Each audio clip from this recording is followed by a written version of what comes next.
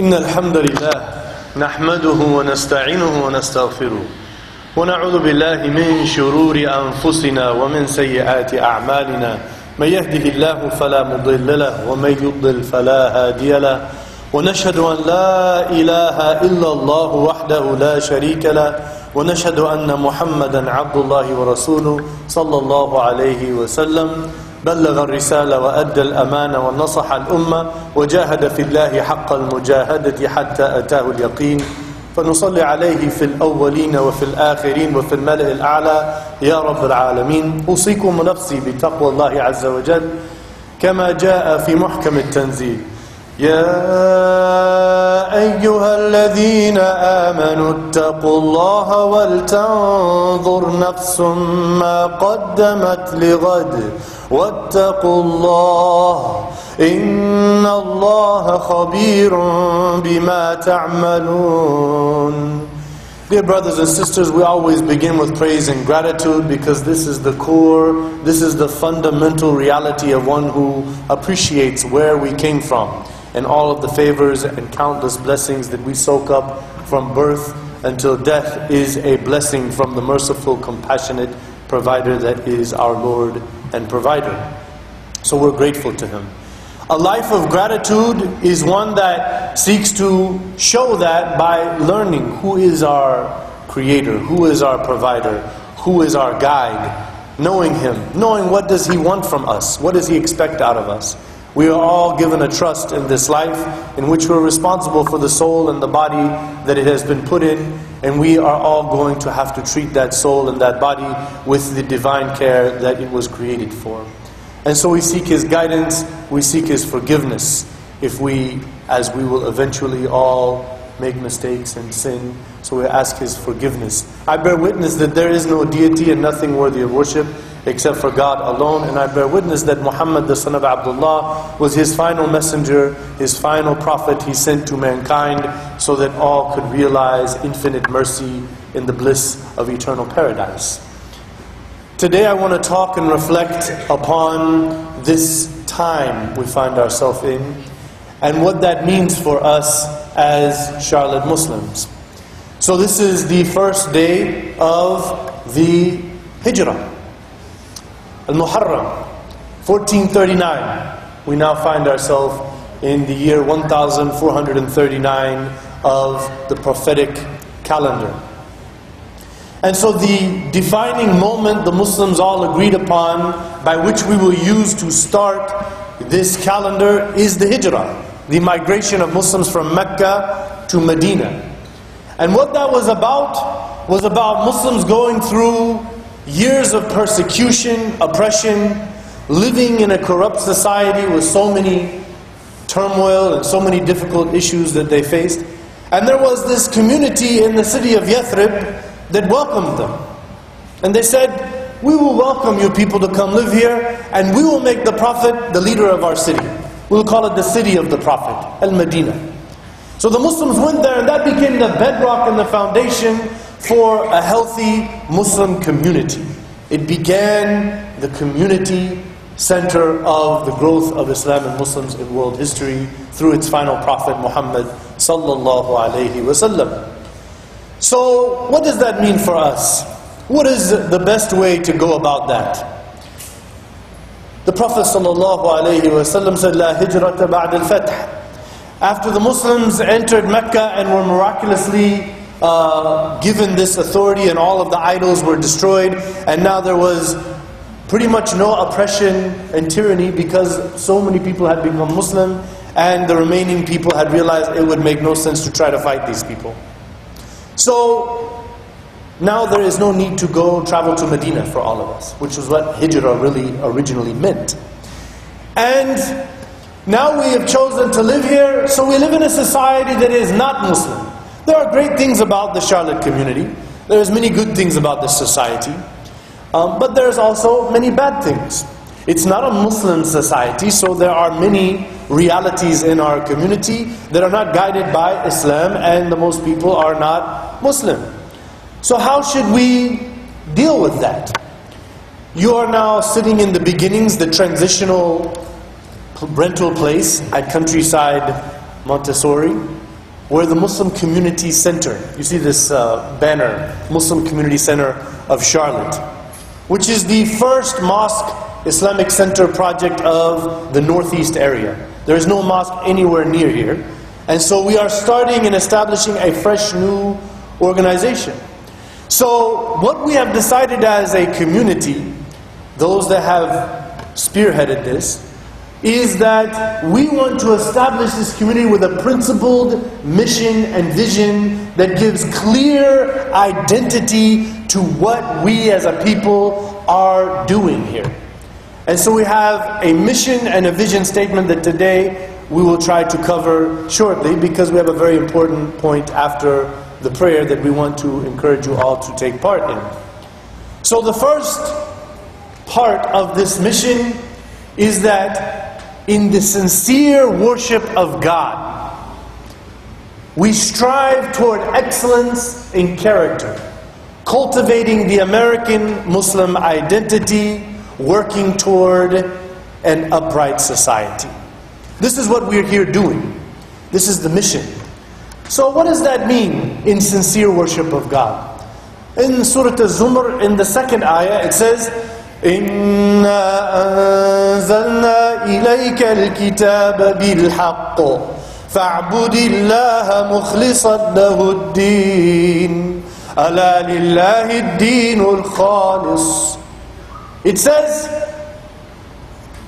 Indeed, we in the royal, majestic plural. The scholar said, why does he sometimes refer to himself in this royal, majestic we? Because what he's about to say after he uses we is that the action he's doing is representing some great king, ruler representation of great action.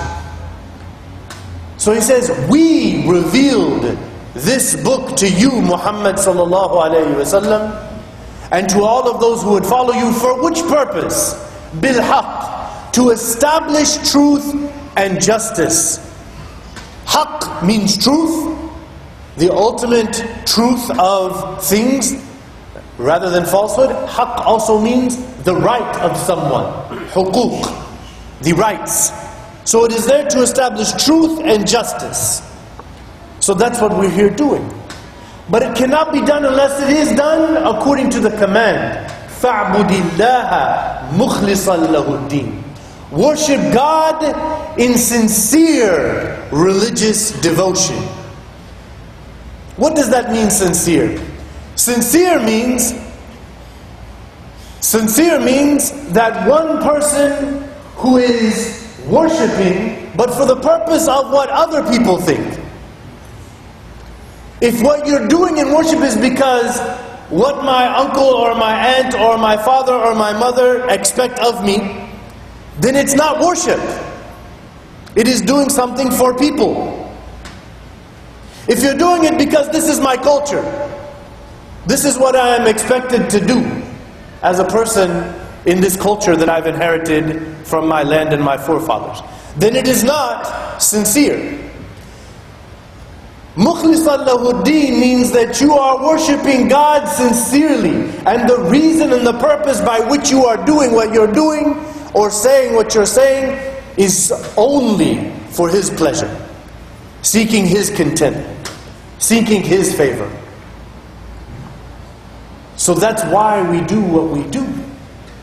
So we don't want an environment in our center here where people do things because they're worried about what people will think about them. They're doing things because they're concerned about what God thinks about them. Then the next portion says, in the natural progression, we strive toward excellence in character. We strive toward excellence in character. What does that mean? The Quran tells us, وَالَّذِينَ جَاهَدُوا فِينَا لَنَهْدِيَنَّهُمْ سُبُلَنَا Those who strive in our cause, we will guide them to our paths. وَإِنَّ اللَّهَ لَمَعَ الْمُحْسِنِينَ And indeed, God is with those who have excellence in their character. What does that mean? That means as you are struggling and striving, you will find that in service of God, things will not always be comfortable for you. It will not always be the easiest way. But if you struggle and strive for it, seeking knowledge, seeking to perfect your character, He will guide you to His many paths. What are the paths? These paths are those of good character. Why, does, why do we know that? Because He concludes by saying, Indeed, He is with those who have excellence in character. The famous ayah, وَاعْبُدُوا اللَّهَ وَلَا تُشْرِكُوا بِهِ شَيْئًا وَبِالْوَالِدَيْنِ إِحْسَانًا he says, worship God alone and do not associate others with your worship. And if you do this, the natural consequence is that you will start to have excellence first and foremost to your mother and your father. Will be the qurba and to your family and to the orphans, and to the poor, and to your neighbors, and to your colleagues. What does this mean? If you are truly worshiping God sincerely, then the natural result is that people will start to feel from you excellence in character. They will perceive from you excellence in the way you treat them and deal with them. The Prophet ﷺ said, إِنَّمَا بُعِثْتُ لِأُتَمِّمَ مَكَارِمِ الْأَخْلَاقِ My whole purpose for being sent was to perfect the example of noble character. To teach you excellence in character. Somebody might think, yeah, but he said all this prayers and all that. Exactly. Prayer is not a goal, it is a means. To humble yourself and realize who you are serving you're serving the one that has given you life and blessed you with so many things. So why don't you be that way to others?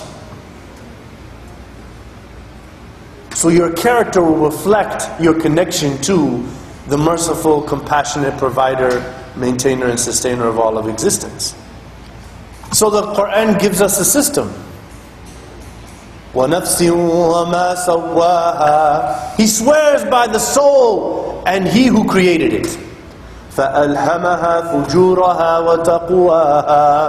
He inspired it. Each soul is born knowing things that will harm it or things that will benefit it and protect it from harm. قَدْ أَفْلَحَ مَنْ زَكَّاهَا Success eternally is for the one that purifies their soul. وَقَدْ خَابَ مَنْ دَسَّاهَا and failure is for one who turns their back on their soul. This is the reality of spirituality. So, what does that mean? Know God, know His message, but you better know yourself. وَالنَّفْسِ اللَّوَّامَةِ He said. أُقْسِمُ بِالنَّفْسِ اللَّوَّامَةِ I swear by the soul that takes account of itself. If you know many things about God and you memorize many ayahs, but you're not looking at yourself, what kind of messed up things am I doing? What kind of offensive speech am I making to people? How are people being bothered by me? How can I fix that? How can I repair that? If you're not taking that path, it doesn't matter what you know about religion. Because you are not using religion for what it's meant for, to purify you. Yuzakkihim. The purpose of the Prophet. So that's what we're doing. So in our organization, we don't want arrogant people who are rude and belligerent and selfish and spreading backbiting and slander and jealousy and all of those things. We don't want that in our organization because we are about striving toward excellence in character. Meaning, if someone advises me, Imam, you know, when you said that, it really bothered me. I shouldn't be like, well, I'm the Imam. How dare you try to tell me? I should be like, Astaghfirullah, I'm sorry, man, I didn't realize that. And everyone else should be that way. Good character, I go directly to the person I would like to talk to. I don't talk to so and so and so and so about that person. I go directly to the source. And when I'm trying to advise someone, I do it in a way that it's welcomed. Because I feel that there's a genuine concern for me, not an arrogant desire to pick apart or control or to prove me wrong and themselves right about something. So this is makarim al-akhlaq. The whole purpose of the Prophet. Cultivating the American Muslim identity. It's very strange. I've had so many, mostly young people, it's strange because they're Americans, all of them, born and raised here. They use the term American synonymously equal to non-Muslim. That my American friends. He means to say my non-Muslim friends. The problem with this is I'm American and you came to sit and listen to the sermon from me. So if American equals non-Muslim, there's something very wrong happening right now. Because it should not be non-Muslim giving the khutbah, right? I think we're all in agreement. So is it just the argument of the Imam or did the Quran and Sunnah tell us to develop an American Muslim identity? It did, and we will now explain that. The Quran tells us لقد من الله على المؤمنين إذ بعث فيهم رسولا من أنفسهم Surely Allah has greatly blessed the believers by sending them a messenger from among them. Meaning what? He was an Arab, like them. It would have been very strange if some Persian guy comes into Mecca talking about, I'm the final messenger of mankind, y'all better listen to me. I'm starting this message with you. Like, hold on. You don't even speak Arabic right. Who are you? Right? وما أرسلنا من رسول إلا بلسان قومه ليبين لهم We never sent any messenger to any nation except that messenger would talk to them in their own tongue. And the scholars of tafsir said, they said, Al-lisan yu'abbiru an al-urf wa taqalid. The tongue represents who you are as a people. They call it hikayat an al-qawl. What we heard about those people, what they've said. وإلى عاد أخاهم هودا قال يا قومي اعبدوا الله ما لكم من إله غيره أفلا تتقون Allah says we sent to Ad their brother Hud. Now, was Ad Muslims what we learned from the story? Did they all become Muslim? No. But Allah called him their brother. In humanity. They are from the same place, born in the same area. قال يا قومي Ad said to Hud, I mean Hud said to Ad, My people, worship God alone. There's no other deity besides Him. Won't you be mindful of your soul? He said, My people. So the Quran teaches us ادعوا إلى سبيل ربك بالحكمة والموعظة الحسنة وجادلهم بالتي هي أحسن Call people to the path of God with wisdom, with gentle preaching, and discuss religion with them with that which is better. The commentators, the tafsir says, you have to have a, a good working relationship knowing who it is you're talking to. This is the wisdom. You have to know the hikmah, it means know who you're talking to. Have a working relationship with them where they feel comfortable to talk to you. If they see you as someone, by the way, America is full of people with many different shades and colors and speaking different accents. I come from the South. I can go into New York and be like, this dude's foreigner. I'm telling you, he's not from here. I mean, one time I went to Louisiana. Louisiana, I don't know how you say it. And I could not understand anybody. They're all Americans. What we're talking about is get to know people in general. Of course, we'll look different. Of course, we may have a different accent when we talk. The point is knowing who they are, how they think, what's their attitude, what's their outlook, what do they really believe? Do I know really what they believe? Or maybe I need to learn from them. What do you believe before I start talking about something and I think I'm arguing a point that I don't need to be arguing? This is the wisdom. So, what we're talking about here is how the Quran is telling us that we should engage where we have chosen to live as our land. And these are our people in terms of our human family from Bani Adam. And we are connected. The souls that were put into us came from all from one source. The body we're in, where we live, it's one place. The general language is one language. We have to interact with people as one among them. Because why? That's what Allah said about the Prophet ﷺ and made it very special. He made that point to the Quraysh so they could appreciate it. So the next part, working toward an upright society. As we are worshiping God alone, striving toward excellence in character, we are working toward an upright society. So we work first here. We work in our hearts for our character. And then if we're doing that, people will like us and appreciate us. And then maybe we can influence and make an upright society. Shu'aib said, in uridu illa al-islaha mastata'at. All I really want, Madian, my people, is to make this an upright society as best as I can. That's what he said. وما كان ربك ليهلك القرى بظلم وأهلها مصلحون Your Lord would never allow a place to be destroyed in injustice if the people in it were genuinely working to make it an upright society. This is an ultimate goal of prophethood. We want an upright society.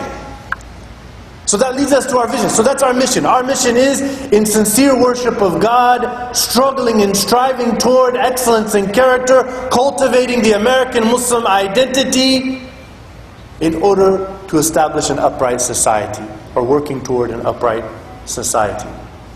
So, what do we envision if we're working for this for many years and our community and your children and their children and their children's children, after we've been doing this for a while, what do we envision will be Charlotte?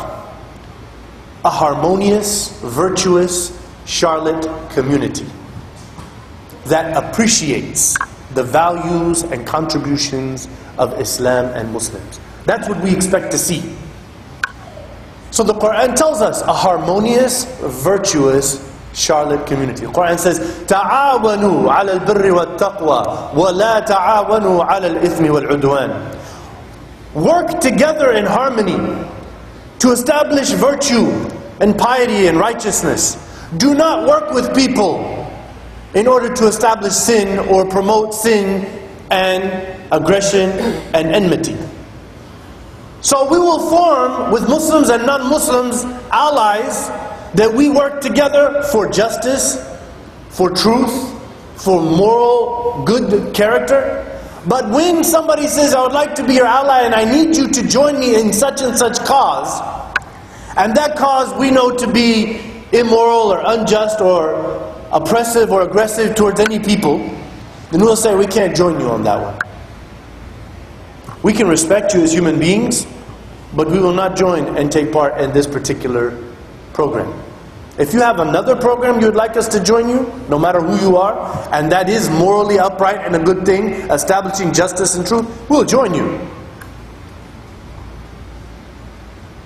ثم كان من الذين آمنوا وتواصوا بالصبر وتواصوا بالمرحمة you see from the believers, this is Surah Al-Balad. It's telling you, أَنْتَ حِلٌّ بِهَذَا الْبَلَدِ It's not just a story about Prophet Muhammad. It's telling you, believer, wherever you are, if you want to live in a city, here's how you should establish yourself. And it talked about the spiritual path. It talked about هَدَيْنَاهُ النَّجِدَيْنِ You know right and wrong. Work towards the spiritual path. Free the slaves. Take care of the orphans and the poor. You'll find from the believers tawasaw bis sabr. They worked harmoniously with each other to establish the virtue of patience and fortitude, to help people in hard times. وَتَوَاصَوْا بِالْمَرْحَمَةِ The believers, they work together harmoniously to establish mercy, compassion, benevolence, kindness, and caring attitude towards others. This is the attitude. what do we in what do we, after we envision a harmonious, upright Charlotte community that appreciates the values and contributions of Islam and Muslims? We want to get to a day where if you ask anybody in the Charlotte streets, that as a result of the Charlotte Muslim Community Center, They will say, all I know about Muslims, they do great things, man. They work, they work on great projects. We had one in the city council, there was a state senator, there was a person on the school board, I met him. I saw him at, there was this organization where they were do, feeding the poor. They were uh, planting trees, they were cleaning up the streets. They're taking care of our city. We're very glad to have those Muslim people here. We appreciate them. See, many people misunderstood the ayah. هو الذي أرسل رسوله بالهدى ودين الحق ليظهره ليظهره على الدين كله وكفى بالله شهيدا This ayah comes three different times in the Quran. He is the one who sent his messenger to establish truth and justice and the guidance of God to mankind in its final, complete, preserved form for the purpose of establishing this way as superior to other ways. And God is sufficient of a witness. There are some commentators of the Quran in our history, great scholars, who understood this mean to be a perpetual war in which we're fighting countries to take over their land and to show Islam is better than their religion. That is absolutely wrong. That understanding is false. The only reason why there were any wars is because people were aggressors towards the Muslims. We were told in the Quran, as we've talked about many times before, قاتلوا الذين يقاتلونكم ولا تعتدوا إن الله لا يحب المعتدين Fight those who are fighting against you. Do not be the aggressor. Because Allah does not love the aggressors. It's an ayah about jihad. Jahidu. Qatilu. That was all it was about. If people are your aggressor, you don't fight them. The purpose of the war is not to establish the religion. The purpose of the war is to establish the means for Muslims to have peace and tranquility where they can live and thrive and teach others about their religion if people are willing to listen. But at the end of the day, la ikraha deen. There's no compulsion in religion.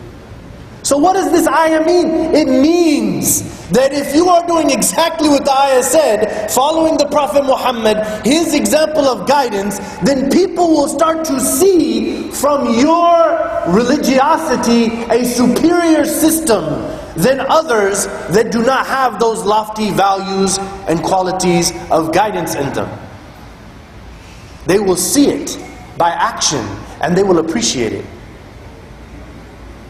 I have, I have someone in my own family told me, you know, Islam makes much more sense. And all this about character development, all of this thing about purifying a society from things like alcohol and oppression and gambling and, you know, uh, immoral, shameful things, those are all beautiful teachings. But, you know, I, I don't know how I could be a Muslim. So they're admitting after coming to know it, it makes more sense and seems to be a better system than what we see is the modern religion without giving it a name. Because it has various names. And that is not helping the morality of the society. Anybody can see it. But you have to be an example. It's not about an argument. Nobody wants to hear you try to argue them. They want to see by the fruits of your words and that you're actions are in agreement to your words, that you are doing what's best for the world around you. And that's the conclusion of this sermon. The Prophet ﷺ said, أَحَبُّ النَّاسِ إِلَى اللَّهِ أَنفَعُهُمْ لِلنَّاسِ The most beloved people to Allah is the most beneficial to those people that are around them. In another hadith, خَيْرُ النَّاسِ The best among people, أَنفَعُهُمْ لِلنَّاسِ The most beneficial to those around them. So that is why we are seeking a harmonious, virtuous Charlotte community that appreciates the values and contributions of Islam and the Muslims. أقول قولي هذا واستغفر الله لي ولكم فاستغفروه فإنه هو الغفور الرحيم.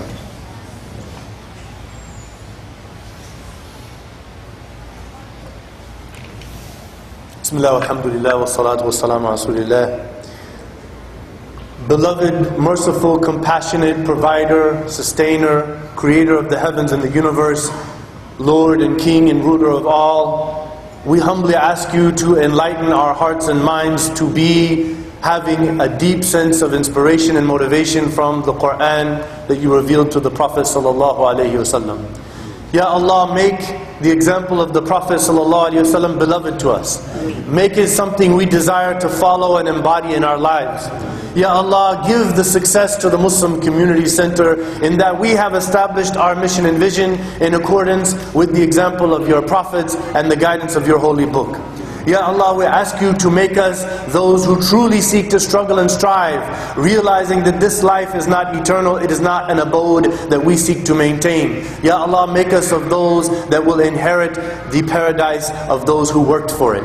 Ya Allah, help us to be those who truly seek to be of you and of your messenger by word and by deed, by skill set, by time and by wealth. That we are giving all of that in sacrifice for you and for your sake alone. Ya Allah, remove from us corruption of arrogance and tyranny and corruption of bad character in all of its forms. Ya Allah, we ask you to make us the means by which truth and justice and goodness is established in the world and oppression and tyranny and evil is removed from the world.